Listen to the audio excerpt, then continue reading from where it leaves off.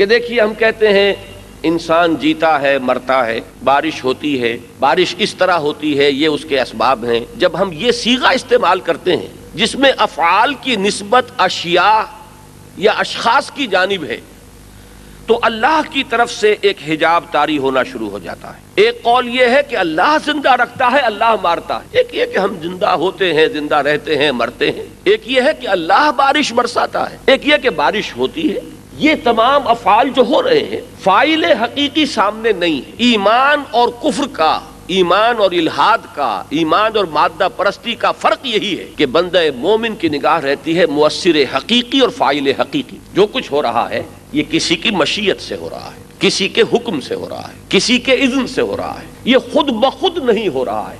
ये खुद ब खुद होना दर हकीकत इल्हाद और मादा परस्ती की बुनियाद है।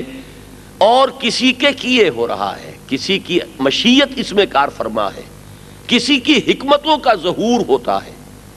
किसी के इज्न से ये सब कुछ होता है। पत्ता भी जुम्बिश नहीं खाता बगैर उसके इज्न के। ये तोहहीद है, ये ईमान बिल्ला है। अब दुनिया में हवादिस आते हैं, जलजला आया। उसके इसबाब भी हमें कुछ मालूम हो गए हैं। जो तभी इसबाब है, ये होता है तो जलजला आ जाता है। जब लोगों को ये मालूम नहीं थे तो माइथोलॉजीज थी, लेकिन आज हमें मालूम है कि जेर ज़मीन इस तरह के लावे हैं, वो पक रहे हैं, और उनके अंदर ये सारा मामला होता है तो उसके अंदर जब कोई जोश आता है, हैजान आता है तो जलजला आता है। अगरचे इल्म के एतबार से, मादी इल्म के एतबार से, हम उनके मुकाबले में बहुत आगे आ गए। लेकिन गौर कीजिएगा हकीकत के एतबार से हम भी वही हैं जहाँ वो थे। इसलिए कि अल्लाह का इल्म न उन्हें हासिल हुआ, न हमें हासिल हुआ। ये बात उनके निगाहों से भी ओझल रही कि एक खुदा कादिर मुतलक है। उसके हुक्म से होता है जो होता है।